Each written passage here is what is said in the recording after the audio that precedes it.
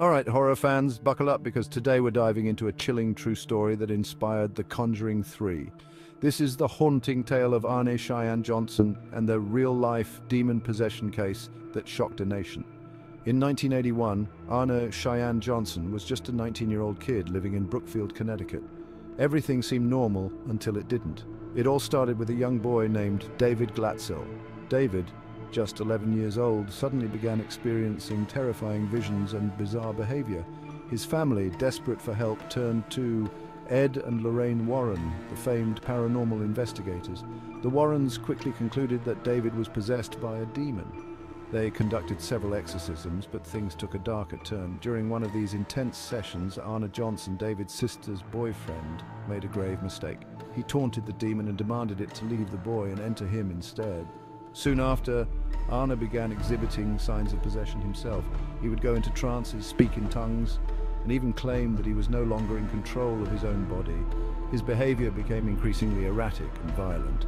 Then came the fateful day of February the 16th, 1981.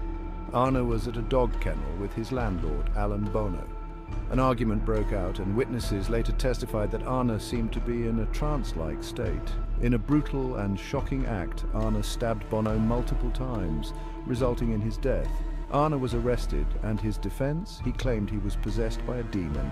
This was the first time in US history that demonic possession was used as a defense in a murder trial. The media went wild, dubbing it the devil made me do it case.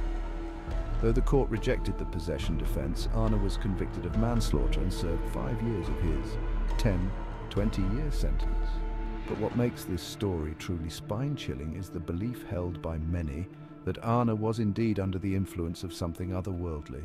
Ed and Lorraine Warren stood by Arne's side throughout the ordeal, maintaining their conviction that he was a victim of a demonic entity.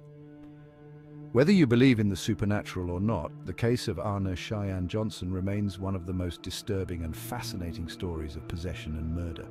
So, next time you watch The Conjuring 3, remember, sometimes truth is stranger and far more terrifying than fiction. If you enjoyed this dive into the dark and mysterious, don't forget to like, subscribe and hit that notification bell. You won't want to miss what's coming next. Stay spooky, folks.